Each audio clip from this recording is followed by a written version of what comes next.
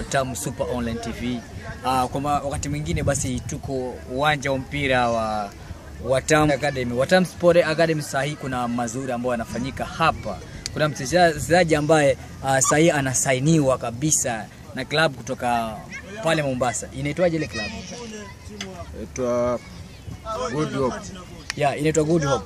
Kwa hivyo usiache kufuatilia Watamu Super Online TV, tukiongea naye mawili matatu, tujue je, kule anapoenda kuna nini mazuri, ama walijuaje kuwa huu mchezaji ana kipaji. Karibu sana ndugu yangu, anakuita nani? Yohana Ntalewa lakini jina la mchezaji wangu favorite ni Lewa Dibala. Lewa Dibala ni kwamba tumefahamu kuwa wewe una kipaji ambayo kilipelekea mpaka uh, wachezaji kutoka kule Mombasa ama makocha kutoka kule Mombasa wakaamua kuja mpaka mjini Watamu Tamu kufuatilia mambo yako. Je, walijuaje kwa wewe ni mchezaji mzuri? Okay, game ya kwanza tunaenda Mombasa, tulishinda 2-1. Goli la kwanza nilifunga mimi penalti.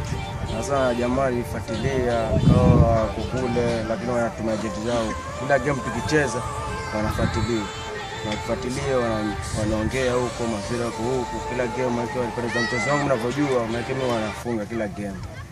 Sasa ndio hivyo, juzi kama bahati wakakuja wenyewe, walituma message kwa coach, wakaja wenyewe kwenye timu, wakaongea na coach, wakapigiwa simu, walipoenda ofisini kwa walikuwa wameamua, walifuatilia game zetu zote, ndo wakaamua mimi kunisaini kama klabu yao nikawasaidia forward. Okay, ni sawasawa sawa kabisa.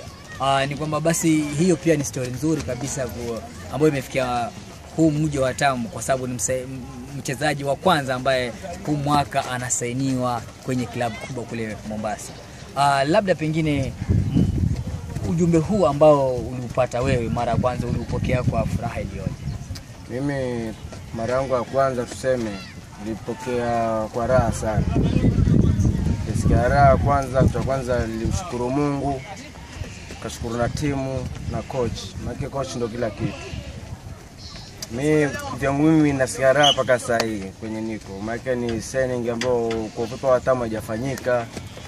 Ni kama kwanza ametoka kwenye klabu yetu ndogo wa Tamu Sport Academy, yaani na siara.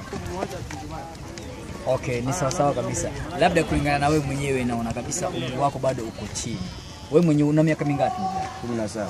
17 ya wow, wow, wow. Furaha ni, furaha ilioje, mchezaji wa miaka kumi na saba ambaye saa hii anaenda kusainiwa kwenye klabu kubwa kule Mombasa. Ah, labda pengine ni kwamba habari hizi zilivyofikia wazazi wako walizipokea kwa kwa furaha ilioje? Wazazi wangu walifurahi kwa sababu wazazi wangu wana- wananisapoti sana kwa michezo sana. Kwa hivyo ni kama alikuwa ni dreams yangu, kwa hivyo alipokea kwa raha. Mpaka sasa hivi wao wanauliza uliza utaenda lini, mimi naambia bado iko time. Kwa hivyo nikimaliza mambo yangu mimi nitaenda huko. Mpaka kwa sasa bado ana furaha, maana ni kama dream yangu imeanza kuonekana sasa hivi. Sasa wanasikia raha tu wao. Okay, ni sawa sawa kabisa. Ah, labda pengine kulingana na na wewe kama mchezaji ambaye ni tegemeo ya hii club. Huoni kabisa kunaweza kuwa kuna uteka uteka uteka nini kubwa sana kwenye klabu yako? Ya, hilo nafahamu kabisa. Maana ndio nategemea kama kapteni wao. Lakini mimi na believe hapo wenye nimeenda mimi kuna watu, ambao walikuwa wataziba gap yangu. Na believe maana ni kama moja hivyo hivyo. Kwa hiyo mimi natarajia wataziba hilo gap na wataendelea bidii hivyo hivyo. Okay, ni sawa sawa. Na labda pengine kulingana na wewe kama wewe kama mchezaji ambaye ni tegemeo na, na Watamu watam wa- Watamu Sport Academy, wewe ndio tegemeo kabisa ambao utaenda, labda unajua kabisa mchezaji fulani lazima atafunga. Na sahihi. Je, kuna yoyote ambao unajua kabisa yeye ni kutoka mimi, kuna mwingine ambaye yeye pia nitategemea? Eh, kwa sasa yuko lakini tuko twin strike hapa. Mimi nacheza forward yote 7, 9 na 11. Lakini kuna mwenzangu anacheza 9 kwa 64 huyo pia tegemeo sana. Na huwa ni assist wanipe mimi assist. Hapo mbele akasumbua sana. Sasa sasa mimi na believe akipata saba mwingine ama 11 ambaye atafiti vizuri atachukua namba yangu vizuri na ataendelea vizuri.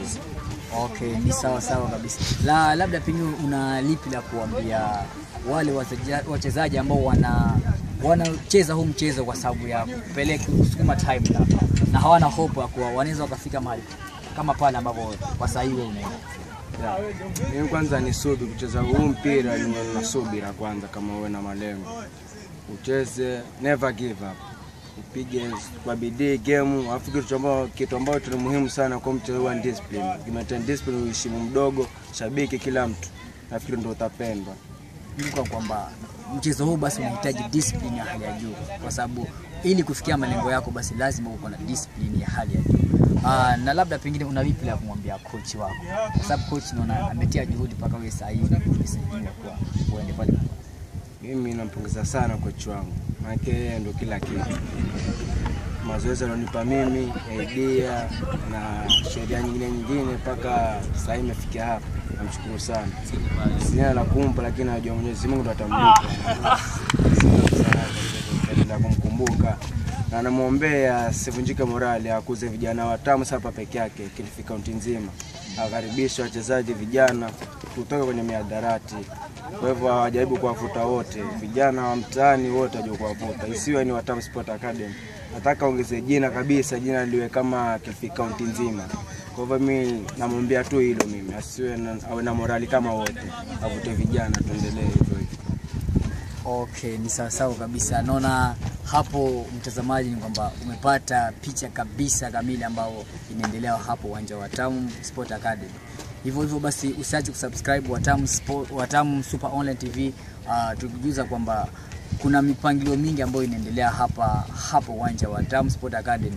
Hivyo hivyo bila kusahau ni kwamba kuna coach kutoka timu kubwa timu kubwa ya Kenya Harambee Stars yuko hapa pia, tunaenda kufanya mazungumzo na yeye.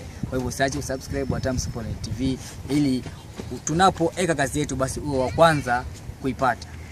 Asante sana, niite Samson Luso.